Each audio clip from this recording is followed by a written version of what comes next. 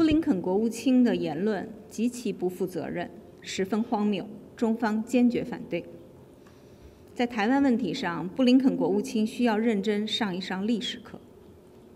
台湾自古以来就是中国领土不可分割的一部分，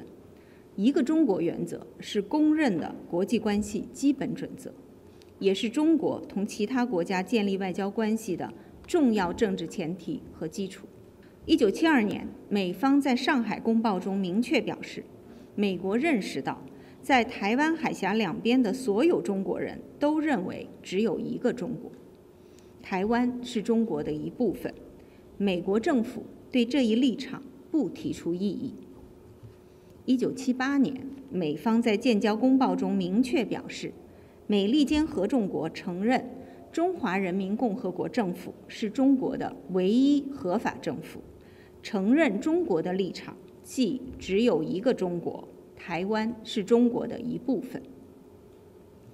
一九八二年，美方在八一七公报中明确表示。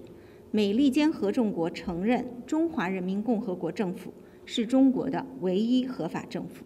并承认中国的立场，即只有一个中国，台湾是中国的一部分。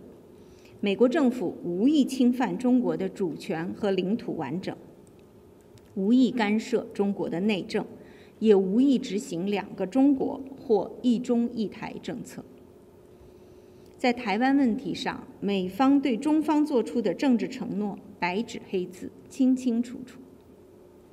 一段时间以来，美方蓄意无视和歪曲历史事实，在台湾问题上发出错误信号，大幅放宽对美台官方交往的约束，强化美台军事联系，鼓噪今日乌克兰，明日台湾。甚至有媒体爆出美政府制定了毁灭台湾计划，人们不禁要问：美方究竟意欲何为？我要再次强调，台湾问题纯属中国内政，是中国核心利益中的核心，是中美关系的政治基础，是中美关系第一条不可逾越的红线。中方绝不允许任何外部势力干涉中国内政。我们奉劝美方悬崖勒马，停止在台湾问题上走边缘、切香肠、搞突破，停止混淆视听、信口开河。如果美方一意孤行，必将导致严重后果，美方必将为此付出沉重代价。